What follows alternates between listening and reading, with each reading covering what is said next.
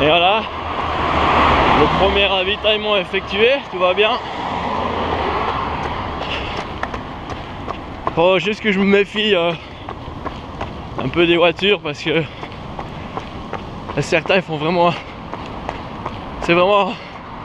C'est vraiment bizarre de voir arriver les voitures et puis te foncent dessus puis qu'au dernier moment ils te. ils tournent. Bon, les abrutis il y en a partout. Allez, c'est reparti là pour euh, le deuxième ravitaillement. Et voilà, à toutes. Bon, on Alexia avec la voiture. Premier ravitaillement.